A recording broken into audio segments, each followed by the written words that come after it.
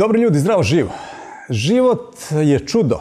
Život je čudo koje se neprestano troši, osipa ipak traje. Tako je napisao Ivo Andrić. E, mnogo puta kada dođete u neke godine, onda shvatite da ste mnogo puta se uverili u istinitost ove Andrićeve misli. Nije bitno da li njegove ili on od nekoga čuo pa zapisao, kako god. Pre 20 godina sam upoznao jednog čoveka uh, mi je rekao rečenicu koja mi je tada zaista zazvučala neverovatno, iako i tada je bilo baš teško me iznenaditi, zato što prosto volim da istražujem i e, sve što čujem volim da analiziram. Gotovo nikada ne odbacujem nešto kao nemoguće. On mi je tada rekao, e, više slave, e, vrlo skoro, ubrzo će se ljudi stideti svojih bolesti, jer se tačno zna od čega koja bolest dolazi, odnosno od kakvih misli koja bolest dolazi. Tada to zaista nisam ni od koga čuo, ni pročitao. Trebalo je prođe mnogo godina da nešto slično e, počnem da, da slušam i da čujem od različitih ljudi. E sada, da je to pre 20 godina, da smo pre 20 godina snimali ovu emisiju, verovatno bi nas obojicu obeležili i nazvali nekim čudnim imenima. Ovako, mislim da ćete sa uživanjem slušati razgovor pre svega ono što ima da nam kaže naš današnji gost, sa kojim evo više od godinu i po dana se dogovaram i veliko mi zadovoljstvo da je Hadži Zoran Vukašinović danas sa nama. Zoki, zdravo, živo, dobro mi došao. Radno pomaže Bog, dragi moj prijatelju, pomaže Bog, dragi naš narode. Drago mi je da sam nakon evo toliko godina i toliko molbi sa strane gospodina Višeslava došao u ovaj grad, došao u ovaj studio da podijelim ovih 50 minuta sa vama da vam kažem neke stvari o, o, gdje ćete mnogi od vas da kažu da, to sam čekao da čujem cijeli život. Neko će da kaže čemu priča taj čovjek. A mnogi od vas će ovu priču variti, otiće u krevet zajedno sa njom, pa sutradan kad se probude vidjet će da li je to to što su čekali da čuju. Ja ću vam danas pričati o uzrocima bolesti. Jer cijelo bitisanje kroz koje vi prolazite, znači kroz bolest koju dobivate, je liječenje posljedice. Znači, nijednog trenutka niko od vas nije stao ispred ogledala ili sjeo ispred ogledala, pogledao se ogledalo i upitao sebe e, zašto sam se ja razbolio šta se to dešava u mom životu da sam morao da padnem na ove grane. I što je najgore, kad čovjek se razboli, on se prepadne, strah ga uhvati i misli da dolazi kraj života, a ne svata da mu je ta bolest poklon od Boga. Znači da sjedne, da popriča sa sobom, da ne pokaže s ovom rukom znači na svoju okolinu da traži krivca u svojoj okolini, ti si mi kriv, ti si mi kriva, a pogledajte, ovaj prst je okrenut prema tom takozvanom krivcu. Ovaj prst ka nebu, a vidjet ćete zašto je kroz ovu priču okrenut ka nebu, znači ka Bogu, a ova tri ka nama. Znači, nikad nemojte da tražite krivcu, krivicu za vaše razboljevanje u drugom čovjeku već potražite u sebi. Kada sam počeo ove stvari da radim, da razmišljam o ovim stvarima, ovaj, stalno sam sebi postavljao pitanje šta je bolest? Zašto mi tu bolest dobivamo? Zašto se to nama dešava? I onda sam shvatio da bolest može da bude kazna za ono što smo radili ili da bude zlo da bi ubilo ono naše dobro. Ali to je bilo toliko jako i onda sam te dve rečenice negdje stavio u stranu i onda sam shvatio da je bolest upozorenje ili signal. Božija nama poslije. dat jeste s neba da bi se zaustavili. Da je bolest poklon od Boga da bi neke stvari znači, u svom životu promijenili. Bolest može da bude izazov za nas da se podignemo, da se boreći sa njom mnogo isto toga promijenimo. Ali mi to nećemo.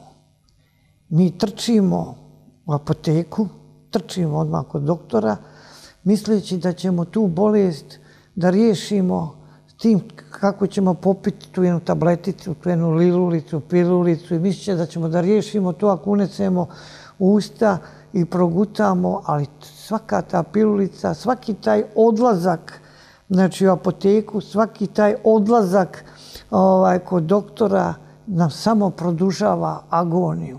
Jer medicina koliko god da je napredovala, znači ovaj, u ovo vrijeme ipak ona se usredila samo na rješavanje posljedice, a ne razmišlja u uzroku. Šta, se, e, šta nam mora da bude jasno? Znači, ta agonija, ako imamo visok pritisak, mi ćemo dobiti tabletu za taj pritisak. Da li ćemo taj pritisak to s tabletom da izliječimo? Ne možemo. Ako imamo visok šećer, mi ćemo dobiti da li inzulin, da bi ćemo dobiti glukofaže, gluformile, da smanjujemo taj šećer, ali mi taj šećer nećemo da izliječimo. I šta onda radimo? Mi smo stalno u dodiru s tim tabletama, misleći da ćemo tim tabletama riješiti problem, a vrijeme prolazi. Obolimo od pritiska, pijemo tabletu za pritisak, kako vrijeme prolazi dobijemo šećer, pijemo tabletu za šećer, posle nam obeljavaju krvni sudovi, pijemo tablete za krvni sudov, ako ode srce, pijemo tablete za srce. I šta mi radimo? Mi krpimo naše životne pantalone, ali jednog trenutka na tim pantalonama neće moći da se nađe mjesto te nove zakrpe i nažalost izgubili smo vrijeme i gubljenjem tog vremena mi završavamo ovu priču u ovom životu. Jel, evo vidiš, to sada što kažeš, u ovoj emisiji posljednjih tri godine e, bilo je pet, pet ruskih doktora, naučnih radnika, akademici su neki i svi su govorili vrlo slično i, i ima veze sa ovim što si ti sada rekao. Oni su govorili, razlikuje se naša psihologija. Mi na istoku se trudimo da izlečimo uzrok. Na zapadu, zbog posla, oni nemaju vremena. Oni leče upravo što se rekao, posledicu. I jedna posledica, ona se zakripi, gurne se po tepih, ali iskoči na drugom, na trećem mjestu i polako, jedno po jedno, samo dodajemo tablete, a ne rešavajući uzrok, jer, kaže, prosto opet, pošto nemaju vremena, oni poznaju tri nivoa bolesti. Peti, šesti, sedmi, prvih tri ili četiri nivoa kada se bolest najavljuje, kad je ona na energetskom nivou, gde mi se trudimo da je otklonimo, tu najavu, da otklonimo u stvari to što dovodi do nje, na zapadu nemoj vremena se time bave. To, to se radi i u ajurvedskoj medicini i generalno na istoku. Je, jeste, nemaju vremena, ali šta oni rade? Oni, nemajući to vrijeme, uništavaju sebe, ali nažalost uništavaju sve ispred sebe. Jer sve te bolesti nažalost, se prenose na njihove potomke i ljudi se vrte u, krv, u krug. Ja mogu da pohvalim medicinu ako je nešto akutno se desilo. Pa ne možemo mi sad da probamo da radimo na sebi, da mijenjamo ako nam je u trenutku pritisak skočio na 230 sa 180. Pa normalno da ćemo da popijemo tabletu ili ako je kroz taj naš život smo napravili da nam šećer skoči preko 30, pa normalno da ćemo otići da nam daju inzulin. I tu je medicina dobra jer nam daje vrijeme da opet ono što sam rekao prije par minuta sjednemo ispred ogledala i da popričamo sa sobom i da probamo s tom pričom da riješimo problem. Jer šta je tu problem kod znači, zvanične medicine? Ona je izbacila da mi imamo duh, da mi živimo duhom. I taj naš duh, on je uzrok svih problema, ali taj duh kao što je ovaj uzrok problema, on može da bude i vjetar u leđa da se taj problem Ključ riješi. za rješenje. Ključ za rješenje. Znači, sve bolesti, od najobičnije prehlade pa do kancera, idu iz naše glave. Znači, naše misli koje se roje u našoj glavi, pozitivne liječe, negativne, nas tjeraju u bolest. Znači, misli prave riječi, riječi prave emociju, emocija nam stvara karakter, a taj nam karakter određuje život ili sudbinu. Znači, ja ću, pošto mnogo ti misli ima, koji su uzrok bolesti, ja uvijek ponesem jedan papirić pa onda pročitam da ne bi zaboravio neku, a sada kad vam budem ovo čitao, naćete se u nekoj od tih misli, a kako vrijeme bude prolazilo, onda ćete vidjeti kako ta misao ili ta proživljena emocija utiče na vaš organizam, kako utiče na neki od vaših organa i pravi vam to što vam pravi. A, koje su to misli koje utiču na naše zdravlje? Znači, ružna riječ, ružna misao, naša pojačana gordost, stalno prisutna uvredljivost, naš egoizam, neizbježna oholost, podlost, bezobzirnost, bestidnost, nezahvalnost, bojažljivost, sujeta, preterana briga, mržnja, razvrat, nečistoća, blud, gnjev, bijes, srđba, grubost, zavist, tuga, žalost, pakost, očajanje, strah, mrzovolja, lijenost, tvrdoglavost, perfekcionizam, prepiranje, nestrpljenje, neposlušnost, ogovaranje, klevetanje, zakidanje na zaradi, zelenaštvo, lukavost, zlopamćenje. Znači, vidite, ima toga još, ali garantujem ko ovo sluša, našao se u jednoj ovoj riječi koju smo sada izgovorili. E ta riječ pravi to što pravi. Ako je u jednoj, onda je super. Ako u jednoj, to je super. Pa normalno. ovaj, ja bih vam sad e, rekao suštinu života. Znači, da neke stvari shvatite i ako to imate u svojoj kući da mijenjate, jer ovo što vam budem pričao, bit će vam velika pomoć da ne bi sutra, ako ne imate ovo u kući, plakali i da ne bi sutra gubili nešto što više nikad ne bi mogli da vrate. Da vratite. Suština našeg života se nalazi u krvi. Znači, krv je naša, ona sve pamti. Znači, u nama se nalazi krv naših predaka i možete misliti koliko je ta krv stara. Znači, u nama je krv našeg oca, majke, dede, prababe, pradede, čukun dede, čukun, čukun, čukun, čukun dede.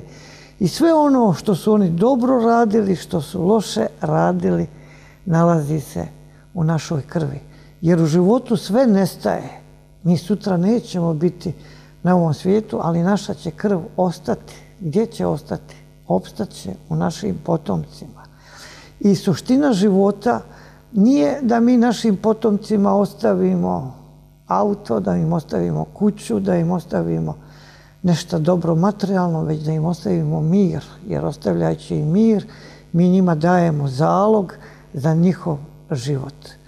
Znači, u životu sve nestaje. Samo jedna stvar opstaje i živi dok je zadnjeg čovjeka na zemlji. Ta stvar je krv. Znači, sve umire, ali krv se prenosi iz generacije u generaciju. Otac svih bolesti je misao. To smo sada prije par trenutaka rekli, a majka bolesti je hrana. Znači, hrana je sekundarna u našem oboljevanju, jer ona nam može pomoći da ubrzamo ozdravljenje, ali nam može pomoći i da ubrzamo bolest. U nama su geni predaka, a hormoni potomaka. Znači, sve ono što su naši preci radili, a nisu prije smrti izbatili kroz pokajanje i kroz praštanje, nažalost, nalazi se u našoj krvi. I ako mi to ne uradimo prije našeg upokojenja, mi ćemo da to prenesemo našim potomcima. potomcima. E, u prirodi može da obstane samo plus i minus i to je izuzetno bitno za jednu porodicu jer je kompletna priroda postavljena na, toj, na tom dualitetu, znači na toj suprotnosti. Mogu da vam dam par primjera, a ti primjera bi mogli da ujutru da nabrajamo te primjere, znači imamo noć, dan, toplo, hladno, ljubav, mržnja, gore, dole. Znači, do ujutru bi mogli da nabrajamo i taj, ta suprotnost je izuzetno bitna za par rečenica koje ću sad da kažem. Znači, e, Bog kad spaja muža i ženu, kako ih spaja? Spaja ih plus i minus polno, ali spaja plus i minus karakterno. Ako bi imali iste karaktere, šta bi se desilo? Oni bi se tukli kao dva jarca na brunu, dok neko nekog ne bi o, ubio. A taj plus i minus u karakteru muža, žene izuzetan je bitan, izuzetno je bitan za znači, potomke. Muško dijete vuče sve loše, znači gene, a geni nastaju znači, od naših misli, po muškoj liniji. Znači sve ono što je loše radio otac, deda, pradeda, čukun deda, čukun, čukun deda, nalazi se u krvi muškog djeteta. Muško djete e, trči majci, jer majka ima drugi genetski zapis u krvi da bi preko majke to što je loše dobio sa očeve linije očistio. Žensko dijete isto tako sve ono loše nosi od majke, a trči ocu da bi preko oca to loše što je dobilo čistilo. E šta je tu problem? Problem je ako muško dijete naslijedi više karaktera oca, a karakter se stiče. Znači, prvo sticanje i prvo vaspitanje djeteta je u stomaku majke. Majke nisu svjesne da onog trenutka kad začne se djete u njihovom stomaku, u njihovoj utrobi, da tada kreće, znači, krucijalno, najjače vaspitanje tog djeteta. A kako se to djete vaspita? Znači, ljubavlju. Znači, sam, sama rečenica kad žena zatrudni da se kaže da je u Bogom blagoslovenom stanju, znači sve govori. Znači u stanju koje je izazvala ljubav. Sljedeće vaspitanje djeteta je u porodici i to vaspitanje traje do pete godine. I šta se dešava posle pete godine? Djete je formiran karakter i posle taj karakter se izuzetno kod djeteta teško menja. I jedini način posle promjene, da se kod djeta promijeni taj karakter, da se promijeni, znači, da se promijeni način života kod roditelja i da roditelji da rade na promjenu svog karaktera, da bi djete vidjelo da se oni mijenjaju, da bi se sutra i ono moglo da mijenjaju. E što je to opasno? Znači, ako muško djete naslijedi karakter oca, to je plus i plus polno, ali je plus i plus karakterno.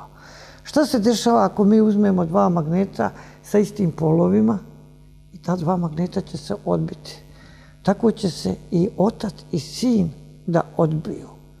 Ili majka i čerka. Ako je taj karakter isti kod oca i sina, 60%, do 60%, taj život u porodici između njih dvoje će biti težak. Znači, ili će sin će prolaziti kroz stile haribde, znači nikad mu neće život biti dobar, ali ako je preko 60%, onda dolazi do nesreće, gdje u 90% slučajeva strada taj sin ili čerka, ako je povukla znači, karakterno više na majku, a to stradanje ide kroz bolest koja se teško liječi, koja u 95% slučajeva završava smrću ili nekom saobraćajnom nesrećom. Znači, iz ovoga može da se vidi da u životu nema ništa slučajno. Sve što se dešava, dešava se sa razlogom. E sada ću da vam kažem a, kako ta bolest nastaje.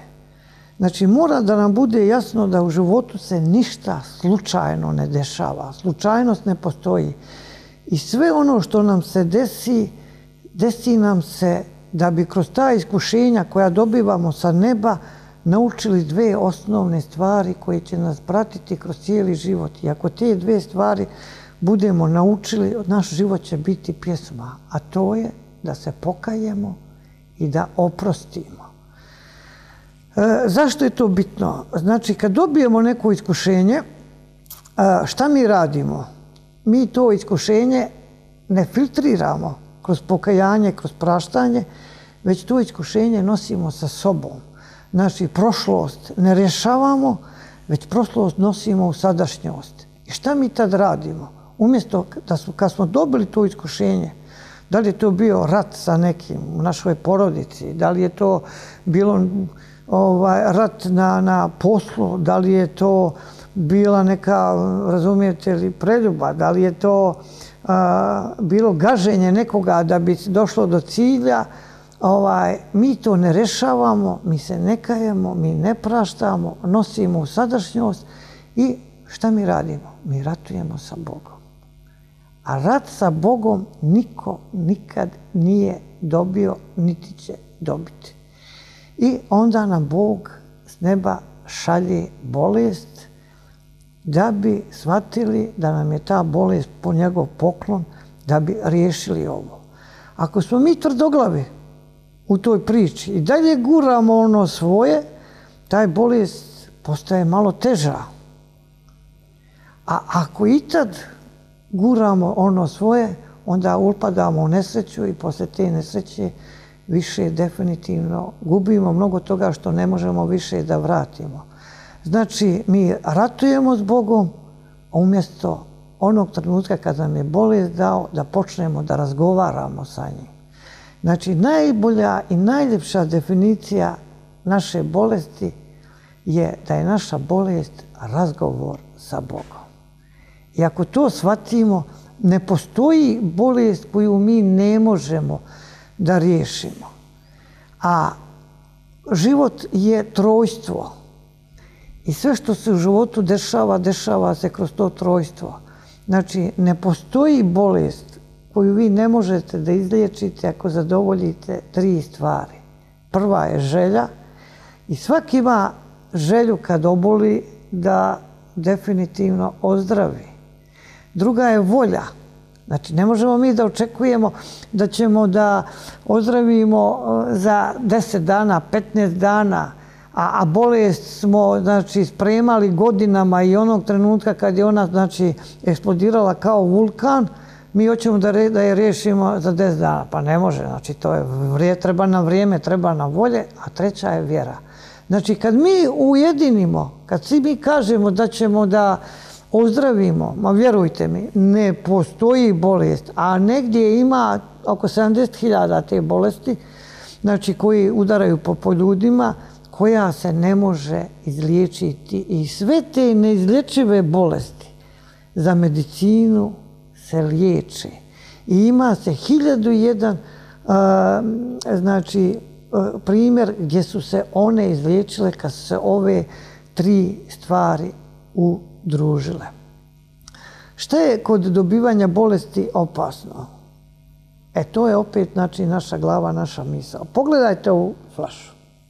Evo, uzmimo da, je, da su u ovoj flaši naše misli, te negativne misli, te loše misli. I sada, šta će se desiti ako ja uzmem ovu flašu i držim jedan minut, evo ovako? Neće ništa. Ja ću tu flašu za minut ostavim, ništa se neće desiti, ja idem dalje. Ali ako ja držim ovu flašu u ruti sat vremena, šta će se desiti sa ovom mojom rukom. A ona će početi malo da se trese, malo će početi da se koči, malo će početi da drhti i imat ćemo problem. A šta će se desiti ako ja ovu flašu držim sat vremena? Aju, ono, ruka će se paralizovati, ona će se ukočiti. E tako vam je i sa mislima. Ako tu lošu misao, znači uvredu ili nešto drugo što je loše, držite minut pa izbacite iz sebe, ona će protrčati kroz vašu glavu i ništa vam neće napraviti na vašem tijelu. Ako držite sat, ona će vas čačnuti, ali vam neće ništa napraviti. Ali ako odete u krevet, pa zaspite sa njom, e, Boga mi, ona će početi da radi. Ona će da počne da čačka, vaš organ, a vaš karakter će da odredi tačno koji će taj organ da bude dotaknut. Da se samo vratim unazad malo, da te pitam nešto. Kada si rekao krv, krv je zapis koji se prenosi i obogaćuje, stalno se dopisuje, svako od nas dopiše nešto. E, šta onda doniranje krvi? Kada mi nekom, e, to je mali deo krvi koji mi damo čoveku, ali da li tu nešto njega malo... E, pazite, odlično pitanje, više slave, kako si me pogodio. To ja stalno pričam. Ili ima onaj vic, izvini, znaš, kad je Nemac se povredio, pa mu piroćanac dao krv i on ga nagradio 100.000 evra. Pa ne znam, posle više godine ponovo bio to opet povredu, piroćanac mu dao, on dao 20.000. I kad je treći put se ista priča ponovila, on je gost bio kod nas, jel da povreda neka, opet krv. Piroćanac treći put, on posle čokoladu, ovaj kaže, pa čekaj, kako prvi put 100.000 sa čokolada, pa kada sad već 90% krvi tvoje. Znaš šta, nisam, nisam se nadao da što ovo pitanje postavite, ali je pitanje fenomenalno iz jednog razloga i je sad lijepo da objasnim šta znači dati uh, svoju krv drugom. Znači, ja nisam protiv davanja krvi i treba nekome kad je život u opasnosti da, da se da. da krv, ali šta treba da uradi taj što daje krv da bi ta krv koja se da drugom razumijete li, djelovala, da ta krv ne bi napravila dvojnu dušu u tom čovjeku. Znači, naša duša putuje kroz našu krv i dobro si rekao, svaka naša krv ima pečat, znači naše misli, naše emocije koje smo proživljavali kroz život, naša, svaka znači, naša krv nosi te pečate i od naših predaka i šta se sad dešava? Mi dajemo krv drugom čovjeku. Mi dajemo krv znači, našu, dio naše duše. A pitanje je kakvi smo mi u duši. Da li on tog trenutka kad smo dali tu krv, da li mrzimo? Da, da, li, da, li smo nekog ubili? Razumiješ li? Da li, da li smo debelo uvrijeđeni? Da li imamo neki, neku bolest koja je sakrivena u nama, a, a ne znamo u, to, to, u tom trenutku za nju? Kada se daje krv, šta je tu bitno? Bitno je da minimum 15 dana prije davanja krvi tih 15 dana otpostimo. Ali taj post 7 dana prije davanja krvi da bude na vodi. Znači da se što više te kiseline koja se nalazi u krvi sa tom hranom pretvori u bazu. Kada to završimo, onda je naš zadatak da odemo kod nekog duhovnika ili kod nekog sveštenika i da tu muku kroz koju smo mi prolazili izbacimo iz sebe, jer puno znači kad to što držimo u, sobi, u sebi izbacimo napolje i kad dobijemo tog sveštenika ili kad dobijemo tog duhovnika oprost, onda zapričekamo dva do tri dana da to što smo uradili, znači očisti ono loše što se nalazi u našoj krvi i onda tu krv odemo da damo sa ljubavlju i sa zadovoljstvom jer ćemo sutra da pomognemo nekom. Ali šta mi radimo? Mislim, ako damo tu našu krv koja je puna zlobe, koja je puna mržnje, koja je puna ogovaranja, koja je puna prezira, koja je puna oholosti, koja je puna ljubomore, pa šta mi tom čovjeku dajemo? Mislimo da smo mu pomogli. Mi mu uopšte nismo pomogli. On je dobio trenutno, možda im je u tom trenutku život pašen, ali kako sutra da se bori sa ovim što smo mi njemu dali? Ima svoj problem, sad je dobio još naš problem. Ali to mogu ovi doktori koji rade, razumijete li, znači, koji su tu i koji daju, da se na operaciji desi da neko dobije 3 do 4 litra krvi. Možete misliti šta je on dobio. E, na primjer, u Izraelu, šta oni rade? A to bi trebali ovdje kod nas da radi. Ako je operacija hladna, znači imate problem sa žuči, sad nije frka, ne morate da operišete danas, naručeni ste za mjesec dana, za dva mjeseca.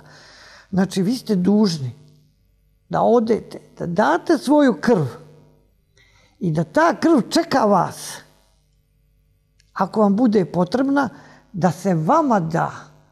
Ali ako je operacija akutna, znači nema se vremena, da se da krv, onda napravljeno je, sad imaju ti aparati koji direktno tu našu krv koju mi gubimo, znači sabiraju u jednu posudu, ona se pričišćava i ponovo vraća u naš organizam. Znači, ljudi koji dobiju krv, a ne znaju od koga su dobili, a sad ću to da potkrepim sa dva primjera, Izašla je jedna knjiga, sad ne mogu da se sjetim tačno Srpsko prije Bravo. srce Johanovo. Srpsko srce Johanovo. E, ta priča, Znači, od našeg čovjeka u toj žutoj kući je uzeto to srce. I to srce se ugradilo tamo jednom Njemcu. E, evo ja pričam, a ježim. Da, isto. Evo, ježim. Šta se dešava? Šta se dešava? On je preživio, on je dobio novo srce i počeo je da sanja. Šta je sanjao? Sanjao Gračanicu. Sanjao je Kosovo, sanjao je znači, kuću od tog čovjeka od koga je on dobio srce. I njemu, znači, nešto nije dalo mira. On je tražio, tražio i jednom trenutku je na internetu vidio Gračanicu. Vidio je svoj san na fotografiji. Istog trenutka se spakovao i otišao na Kosovo. Prvo što mu se desilo tamo na ulazu u crku, jedan dječak je poletio k njemu i nazvao ga tata. Taj mali je prepoznao očevo srce u njemu. A znaš šta je taj švabu radio? Zagrlio tog dječaka, istog trenutka je otišao u crkvu i prešao u pravoslavlje. Uzeo je tog dječaka, usvojio ga je, Tra, nije, tražio je da, da mu da svoje prezime, nisu htjeli, ali je on ga posle oškolovao, dao mu školu, dao mu fakultet, dao mu sve. Da to nije uradio, njegovo srce ne bi kucalo, kucalo bi možda godinu, dve i ono bi se ugasilo. A ono zbog toga što je to uradio, živi i dan danas, znači negdje oko 20 godina posle toga. Taj čovjek je živ. Ali ima još druga ovaj, strana priče koja je malo teža. U Americi, a, i to je bilo javno, sad ja ne znam da li je to negdje, da se još može naći, ali mislim da se može naći.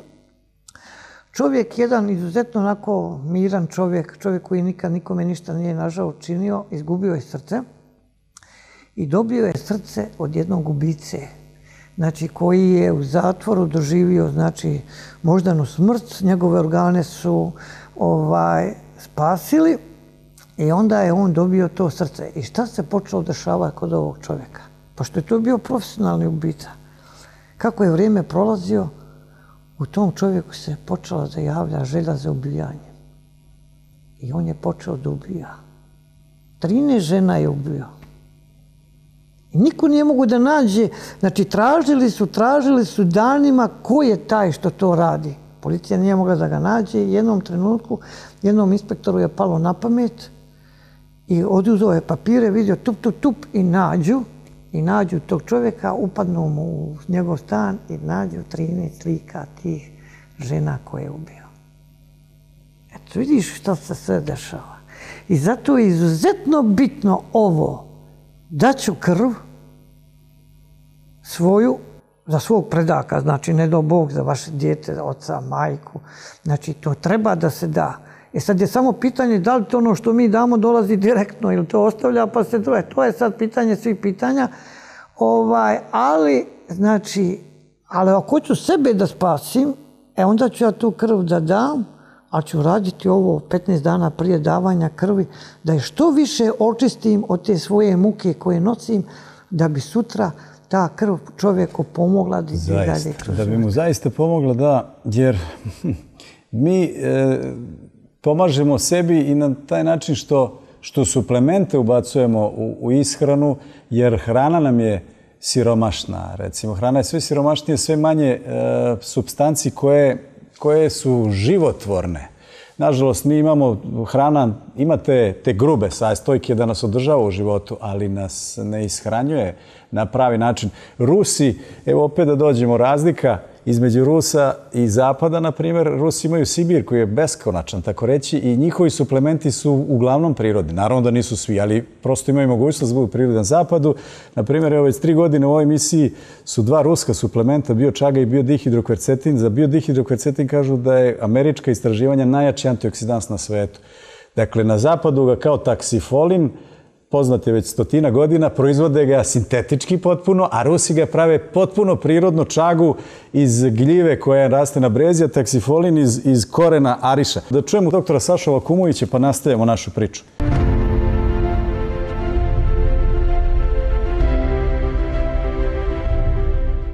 Savremeni način života doveo i savremene bolesti. Jedna od najgorih savremenih bolesti, a sve češće se dešava, su karcinomi. U zemlji Srbiji 17% smrti je od karcinoma. E, svaki dan diagnostikuje se 100 novodiagnostikovanih od, obolih od karcinoma, a od toga 50 osoba umre. Da bi se to izbeglo, odnosno da se to bi što manje dešavalo, potrebno je da promenite neke način u svom životu, ishrani, fizičkoj aktivnosti, ali i da redovno unosite suplemente. Znači, najbolje je delovati preventivno. Međutim, ako se već karcinom razvio, onda možete da uzmete biočagu i biodihidrokvercetin koji mogu da vam pomognu u borbi sa opakom bolešću. Pored ovoga, e, potrebno je znači da uključite ceo svoj, mobilišite sve svoje snage u svom organizmu kako bi se borili protiv ovih bolesti. Takođe, bio čaga i biodihidrokvercetin deluju i preventivno. Tako je da je potrebno, ako niste oboleli, da uzimate preventivno jednu kašikicu do dve kašikice dnevno. Ako se već razvila bolest i idete na hemioterapiju, onda biočagu ne smete uzimati taj dan. Potrebno je da se uzima dan pre toga i dan posle toga ona će vam pomoći da se izborite sa ovom opakom bolešću. Biočaga sadrži betulinsku kiselinu koja je dokazana u borbi protiv mnogih vrsta kancera. Ona u stvari sadrži najviše betulinske kiseline od svih biljaka koje su ispitivane. E, betulinska kiselina se čak nalazi u nekim registrovanim lekovima koji se koriste za lečenje različitih bolesti. Upravo se dobija iz čage. E, prirodni način lečenja je jedan od lečenja koji se koristi u lečenju karcinoma. Da biste uspešno ovo sproveli, morate se aktivirati u borbi protiv ove bolesti. Biočaga i biodihidrokvercetin pored toga deluju antioksidantno, uklanjaju znači dejstvo stetnih slobodnih radikala i deluju znači na nivou same ćelije. Biodihidrokvercetin čak ulazi u samu ćeliju i tu pospešuje nje dejstvo. Inače, biočaga alkalizuje organizam. Zašto je bitna alkalizacija? Doktor e, Foto von Warburg je još 1926. otkrio uzrok nastanka karcinoma i za to je dobio Nobelovu nagradu. Ukratko on je rekao, ako e, ćeliju lišite kiselnika u roku od e, 48 sati, ona će postati kancerogena. Znači, e, Bitno je da ne dozvolite da ćelija bude rešena kiselnika, a to se rešava tako što širite krvne sudove. Biodihidrokvercetin širi krvne sudove i pospešuje dolazak kiselnika u ćelije. To je jedan od načina kako se uspešno boriti protiv karcinoma.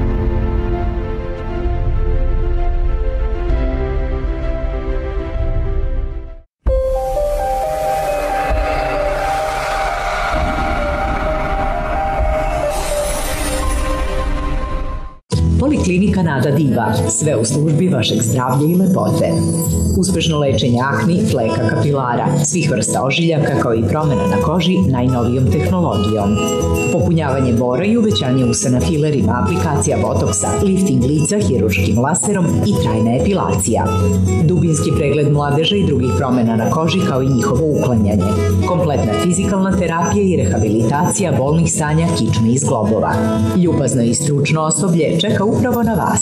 Poliklinika Nada Diva, 20 godina iskustva u radu sa laserima.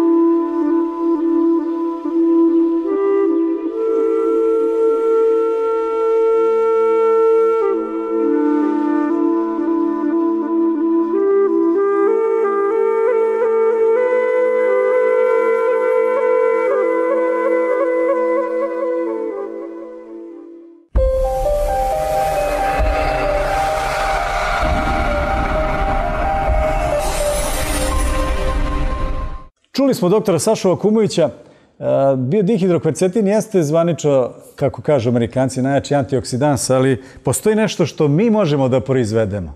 Zoki. Pa pazi, da ti jednu stvar kažem. Ja dajem ja te razvoj suplemente, ali ni jedan suplement nema toliko snagu tih, znači čišćenja tog organizma kao što ima naša ljubav.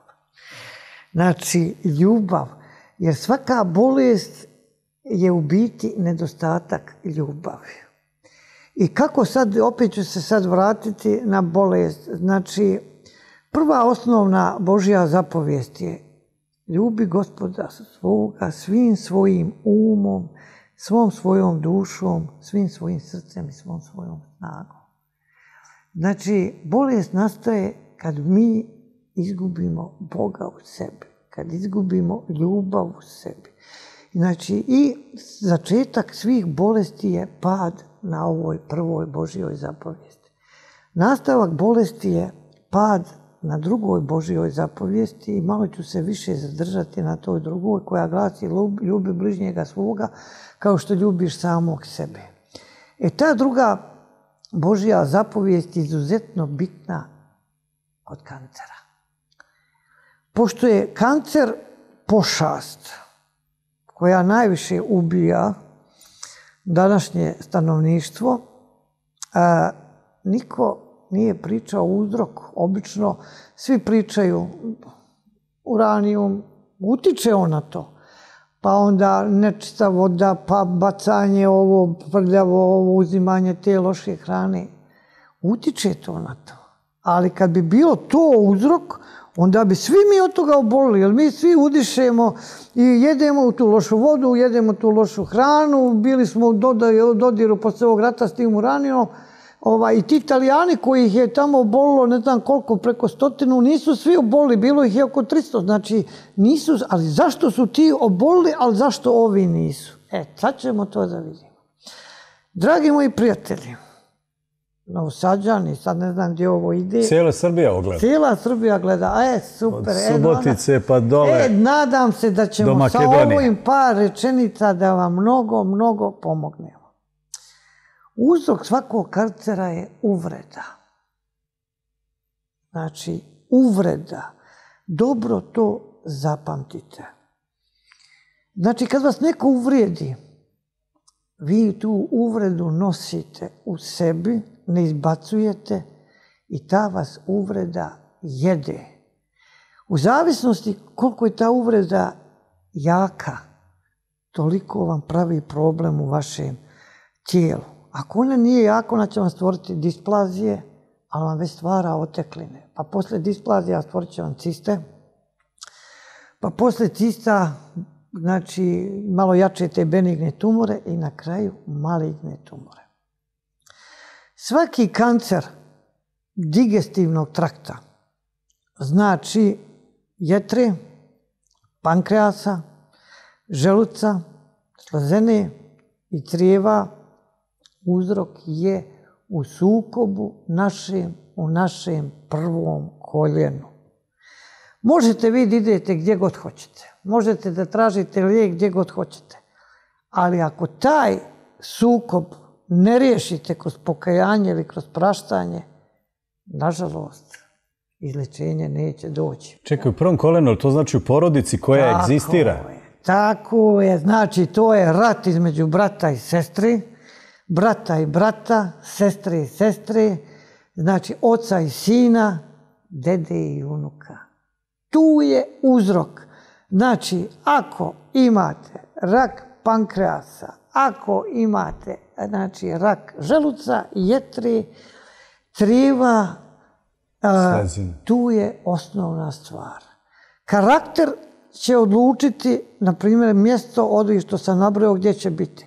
Znači, na primjer, uzet ću primjer crijeva. E, sukob u prvom koljenu, a zašto je napadnuto crijevo, a nije napadnut pankreas? Jer rak na debelom crijevu dobivaju ljudi koji su izuzetno tvrdoglavi, znači bolesno tvrdoglavi i izuzetno gordi, znači izuzetno inatni. Znači, e, to moramo da shvatimo i to moramo da naučimo. Dalje, rak pluća, to je tuga. I tuga je najgora i najteža od svih ovih stvari koji sam, od tih uzroka koji sam prije možda 20 minuta pročitao. A zašto je ona gora od mržnje? Mislim, gora za naše tijelo. Šta rade pluća? Znači, mi bez hrane možemo da živimo.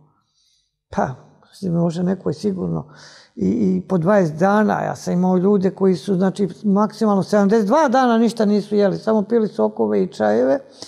Bez vode možemo 7-10 dana, pa naš vladika Nikola je bio na suvom tom čišćenju, bez vode tad sigurno bio preko 20 dana.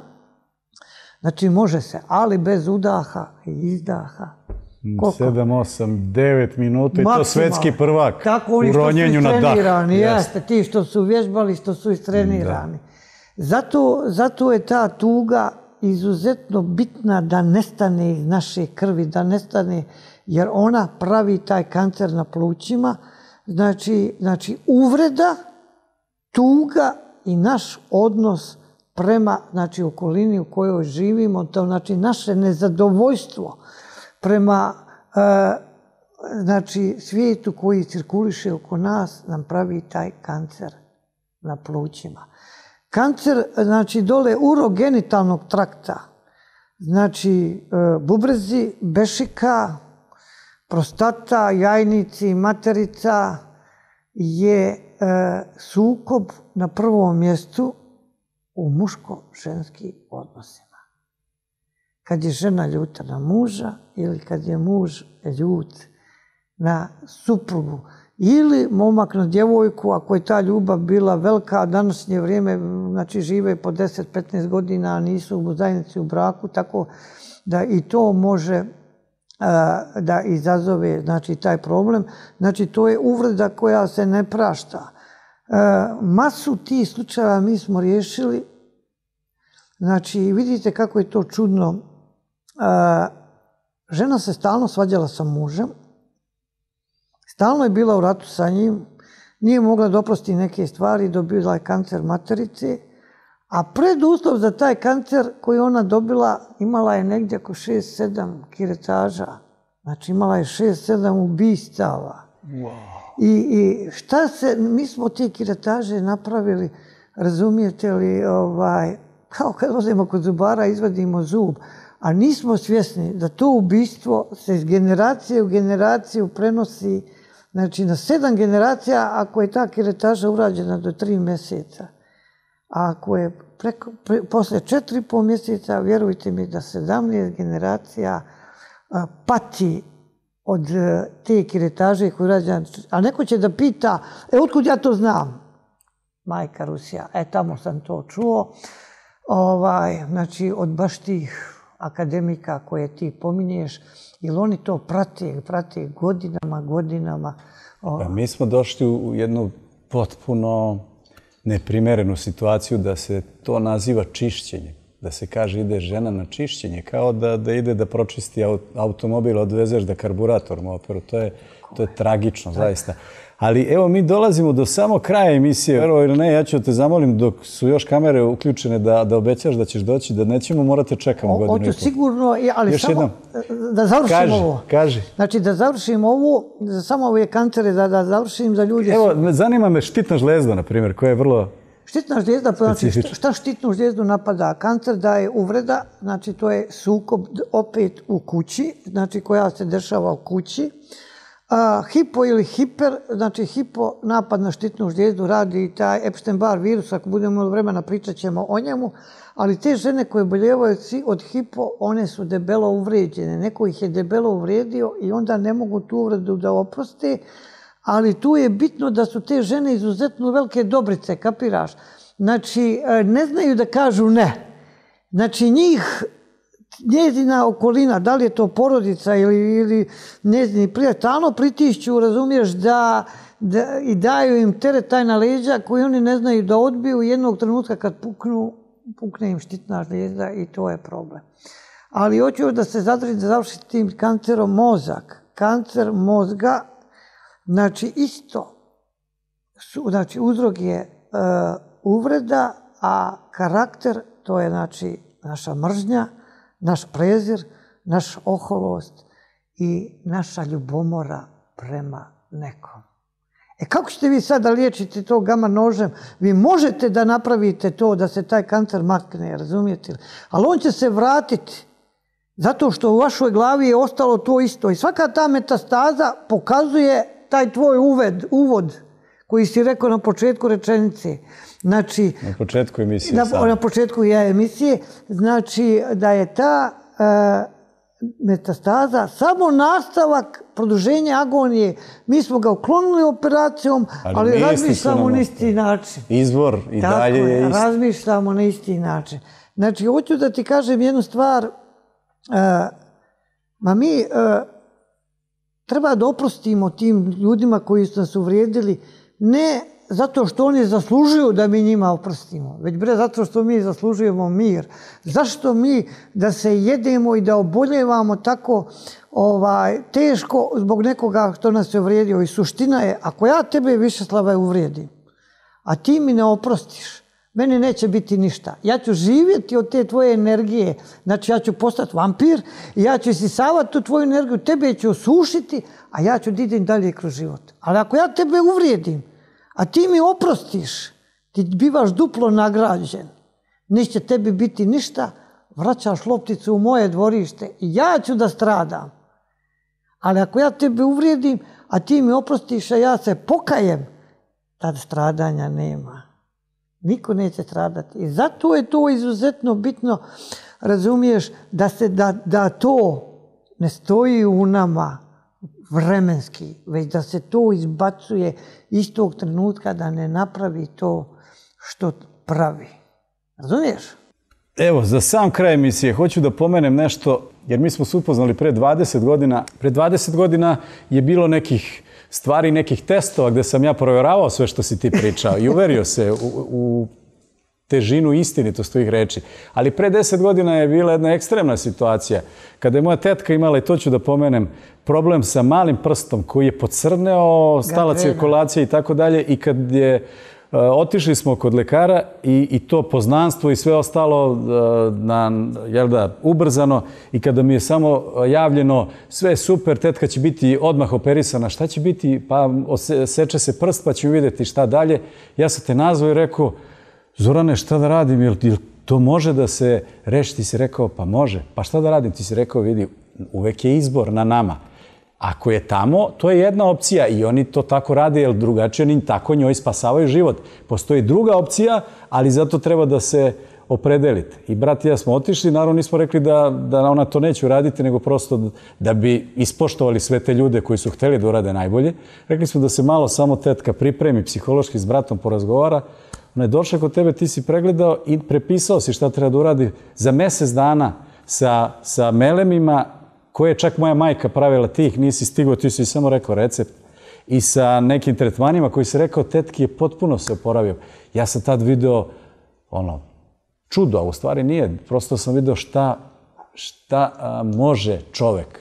Čuda ne postoji. Ne postoje je samo, suština je da čovjek treba da shvati. Ne postoji bolest koja se ne može izliječiti i sve se bolesti liječi sa našim promjenom karaktera. Znači, ali Bog od nas ne traži da mi taj karakter mijenjamo u 24 sata.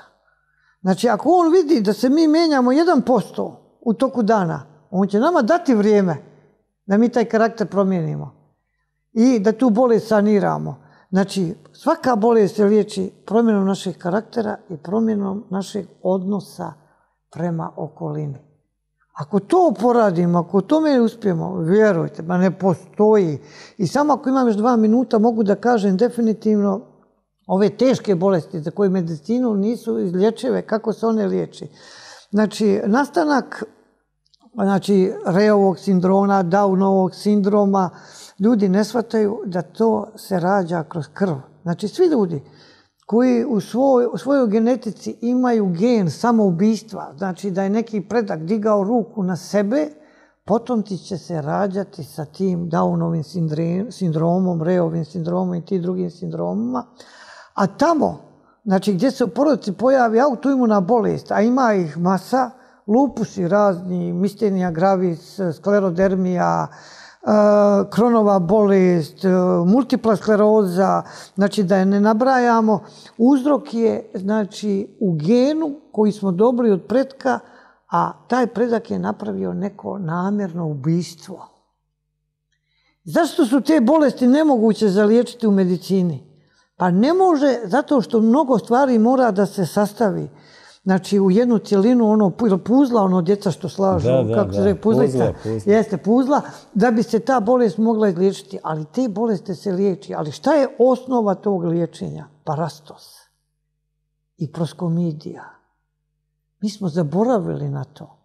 Nama je crkva dala četiri zadušnice, ja mislim četiri godine dana, znači te dane četiri zadušnice i ima tu negdje pobusani ponedeljak peta, a svaka subota je dan upokojenih. Ali mi to ne koristimo. Tako da tamo gdje neko boluje od tih autoimunih bolesti, a možemo sljedeći put da pričamo znači, e, koji je mi, znači koji dio našeg karaktera znači, budi taj gen koji se nalazi u nama i znači, uplovljavamo u tu bolest, znači ne može se ta nijedna bolest da liječi bez parastosa. E šta sad ljudi? A šta je parastos? Znači, to je molitva za naše upokojene, molitva za naše pretke, da se ta energija njihove duše, jer gore na nebu je da, da, ne, ne. Ono, svi oni koji su otišli gore, oni više ne mogu ništa da promijene. Ali mi, našom ljubavlju, ljubavlju znači našim tim čestim molitvama, gdje mi molimo Boga da oprosti našim predsima to što su uradili, mi dobivamo vjetar u leđa za liječenje tih bolesti. Ja stalno pominjem jednog dečka, isto je bio tako neverni Toma kao ti, a djete mu je bolovo od leukemije, djete je bilo u komi. Nećeš vjerovati, evo opet se ježim.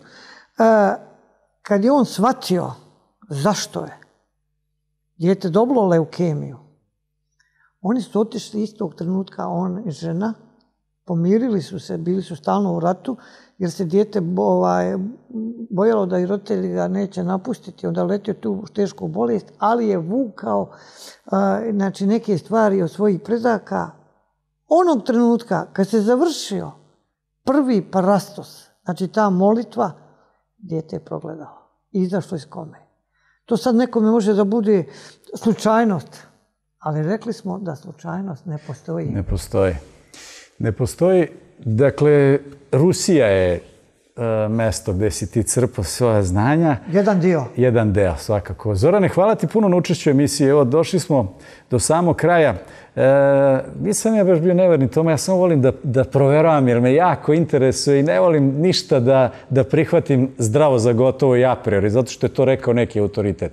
Da evo samo gledalcima kažem, dakle znam čovjeka koji ljude spašava sa operacija kiropraktikom, ali imam i prijatelja koga je neko nestručan koji je počeo time da se bavi u propastio, zato vodite računa jako kod koga idete i kako. To nije šala, apsolutno. I lekari koji imaju E, diplome i sve ostalo, ima ih različitih. To je jasno, kao i majstori, automehaničari i sve ostalo. Dakle, prosto treba povesti računa, ali ono što ste rekao, čuda nema, život je čudo. Jeste. Najveći. I prije što završim, završit ću evo sa ovom tvojom kiropraktikom da ljudi shvate. Gornji dio kičme strada od pretjerane brige. Prestanite da se brinete i riječit ćete mislima tu kičmu. Srednji dio kičme je od uvrede, a donji dio kičme je od materializma. Znači, znači donji lumbalni dio kičme strada kod ljudi koji trče puno za parama. Sad da li je imaju ili nemaju, ali ta trka ubija to. I, i rekao bi, znači, e, da shvatite šta je život. Život, to je jedno tiho, naizgled nevidljivo otkanje vremena.